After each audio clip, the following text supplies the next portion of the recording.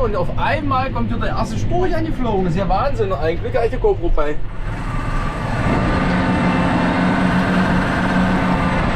Herrlich. Sehr schön.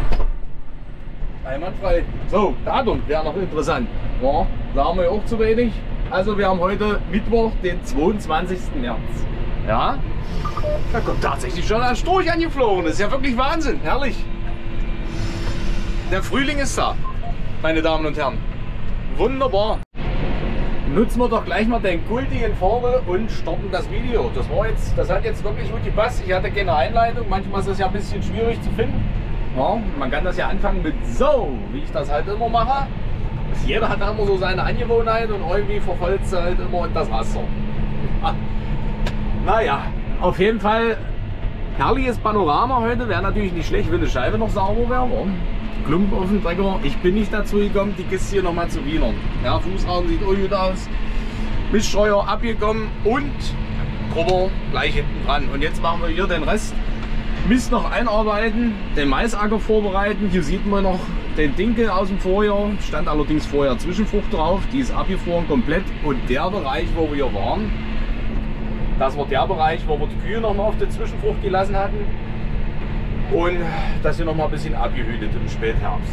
So, naja, auf jeden Fall ist es hier schon ein bisschen festgetreten. Also man merkt das. Also eigentlich sollte die Zwischenfrucht ja ein bisschen tiefen lockern. Aber wo fahren wir jetzt hin? Das ist wohl das Problem, wenn man hier filmt und nicht multitaskingfähig ist und irgendwie hier genau ins andere, naja, in eine andere Richtung fährt. Ist egal, machen wir uns hier schon mal einen neuen Anfang. Eigentlich mache ich das Bild zu Ende. Ich mache mir erst so einen schönen Durchbruch wie jetzt gerade. Wir sind schon wieder völlig abgeschwiffen, aber das ist ja scheißegal.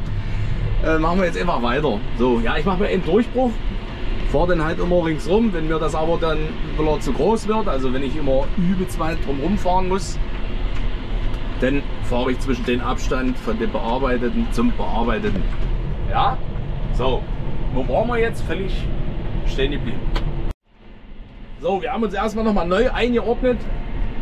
Und jetzt können wir das nochmal ein bisschen äh, erklären. Also hier waren ja die Kühe drauf. Das hatte ich ja jetzt schon erklärt. Und da sage ich mal ab, die Mästen, also alles was dahinter ist, da sind wir nicht drauf mit den Kühe. Das wurde nicht abgehütet. Da sieht man auch noch Reste von der Zwischenfrucht stehen. Die natürlich aber auch abgefroren ist. Kameraführung oder sehr top heute. Ähm, ja, und da werden wir mal gucken, wie sich das bearbeiten lässt, weil ich war schon auf ein Stück gewesen. Da stand die Zwischenfrucht wirklich gleichmäßig und ist auch sehr gut aufgelaufen, muss man sagen. Und da hat sich der Grubber wirklich akkurat durchziehen lassen. Da bin ich mit 10 km/h gefahren. Und hier fahre ich gerade, seht mit 7 in manchen Bereichen. Jetzt er wohl hoch. Aber ja, man hat hier mal so ein paar Felder dabei. Da musst du halt doch mal ein bisschen an Young zurückschalten. Dann scheiße sich in der Hose hier, der Kleine. Ja. So, ja, und das wäre es jetzt erstmal. Also machen wir jetzt einfach nur noch weiter mit den Grubbern. Hier ein bisschen unregelmäßig, da ist aber leider eine Senke. Da lässt sich das nicht vermeiden, weil da muss ich hier natürlich auch ein bisschen hochkommen. Und wenn ich da einen Grubber hier vorne schon richtig drin rammle, dann komme ich natürlich nicht hochgefahren. Ne? Oder wenn nur mit 2 km/h. Also mache ich das nachher hier schön gerade runter. Wenn ich hier Ace-Vorgewände machen muss, und dann passt das. Und das, was ich kriege, das bearbeite ich halt, wenn ich runterfahre beispielsweise. Und den hebe ich halt noch ein bisschen später aus. Ja, ist halt so. Aber das ist ja nicht groß dramatisch. Außer man ist ein Perfektionist. Dann ist das natürlich schon schwerwiegend. So, alles klar. Genug Grütze erzählt. Wie immer, keine Ahnung, was danach kommt. Aber ihr werdet sicher gleich sein. Also, bis dahin. Wir sind in dem Bereich angelangt, wo die Zwischenfrucht noch stand. Also wo es nicht abgehütet wurde. Und ich muss sagen, fährt sich deutlich besser. Wir sind ja mit konstanten 10 km/h unterwegs. Ja, und in den schlechten Bereichen, das habt ihr ja gesehen, 7 bis 8 km/h, eigentlich 8 km/h ist schon konstant geblieben, außer es wurde wirklich mal zu fest. Es liegt auch ein bisschen an den Fahrspuren vom Miststeuer. Das wiegt natürlich auch einiges, aber wir können ja das Material schlecht mit Hubschrauber ausbringen. Wa? Und darum Müssen wir das allerdings hier mit der Tiefe ein bisschen anpassen. Also ich kann nicht ganz so flach, weil die Fahrspuren müssen ja eben auch wieder bearbeitet werden. Also das bringt ja nicht. Wenn die so festgefahren sind, muss es halt auch mal wieder gelockert werden. Und in dem Bereich hier merkt man es gerade, 8 km/h hält halt auch schön fest. Ziemlich grenzwertig hier von der Feuchtigkeit. Aber es wird eben gleich besser.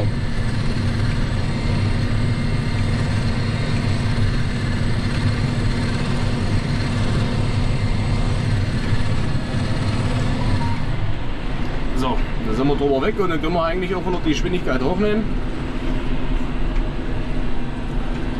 Und dann pendelt er sich so langsam ein. Jetzt hat es.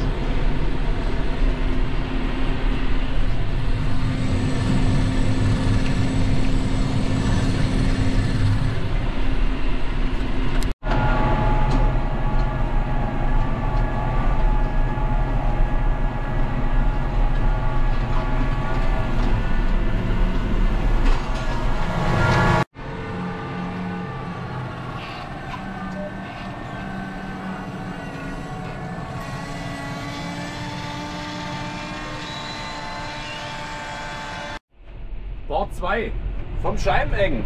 So, es geht weiter, immer noch auf dasselbe Stück. Ja. Ähm, der Plan war ein bisschen anders. Wir wollten ja eigentlich nicht nochmal mit der Scheibenenge drauf, sondern wenn, dann final mit dem Swifter. Äh, ist jetzt doch noch mal ein bisschen anders gekommen. Es hat sich doch noch eine ganz schöne Kruste gebildet. Wir hatten jetzt, naja, es war immer sehr windig und nicht so viel Niederschlag, obwohl wir jetzt im gesamten Zeitraum bis jetzt hin eigentlich ausreichend Wasser hatten. Ja, also da jetzt will ich nicht meckern. Da sieht es ja in anderen Teilen Europas jetzt schon wieder anders aus. Wenn man schon nach Österreich guckt oder so, ist ja auch schon wieder jetzt problematisch. Also toi toi toi, bis jetzt schaut es gut aus. Jetzt haben wir zwar ein bisschen Sonnenschein, morgen soll aber wieder Regen kommen, so war es gemeldet. So, und unser Plan ist jetzt hier Maisacker vorbereiten. Jetzt mit der Scheibenegger eben die Kruste aufbrechen. Und dann machen wir das auch final noch mit dem Zwifter und dann werden wir reinlegen mit unserer Maisleihmaschine. Da ist halt die Problematik auch, dass das, die braucht ein sehr gutes Saatbett. Ja, da hat man letztes Jahr eben gemerkt, da hat man auch so Versuche gemacht mit gleich rein, also erst grubbern und dann auch gleich reinlegen. Das ist aber, das war nicht so schön und dann kam auch nicht der passende Niederschlag, damit das auch alles schön gleichmäßig aufläuft. Und darum haben wir uns dieses Jahr nochmal entschieden, wirklich ein akkurates Saatbett hinzulegen. Ja, Minimalbodenbearbeitung in dem Sinne, kann man dann nur noch von der Tiefe ein bisschen was machen. Da hat man jetzt beim Grubbern, also beim, mit dem tiefen Grubber, mit dem Zentauer Amazone, das Ding, was vorher gesehen war, ne? wirklich maximal 10 cm. Jetzt hier im sandigen Bereich, das ist hier das Stück, wo es hier sandiger wird. Das ist hier der Keil und da so, das sieht man von der Farbe vielleicht, jetzt keine Ahnung, ob man das auf der GoPro erkennt, das wird da richtig schön lehmig. Ja, also da musste man auf jeden Fall eine 10 cm da schon mal bisschen unten reinrühren, aber beim Sandboden hier, da hätten jetzt auch 5 cm gereicht, je nachdem. So war es hier erst eingestellt, aber der Grubber musste da hinten halt tiefer. Ja. Sonst wäre das doch, ja, das, das bringt ja nichts.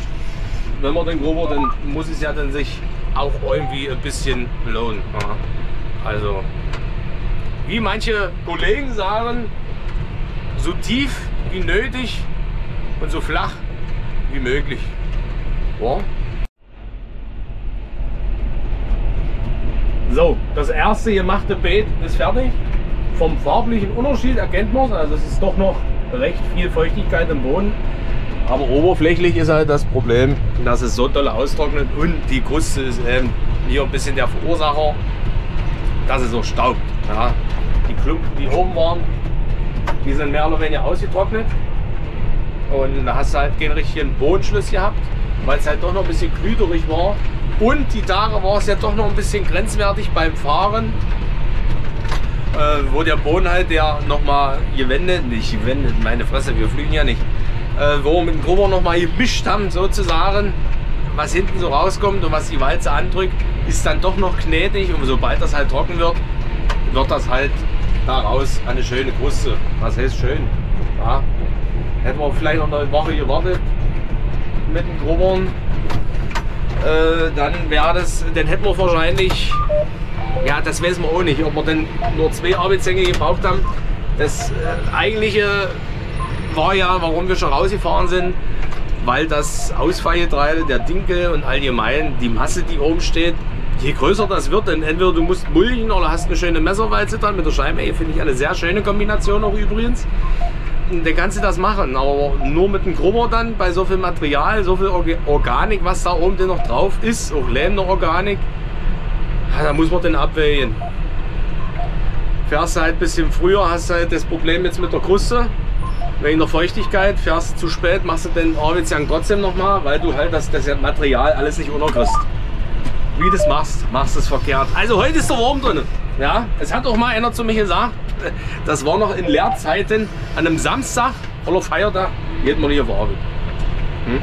Oh, da ist wahrscheinlich was dran. Aber nützt nichts. Ich bin auch nicht der Einzige, der heute rumdümpelt. Nachbarbetrieb habe ich noch fahren sehen.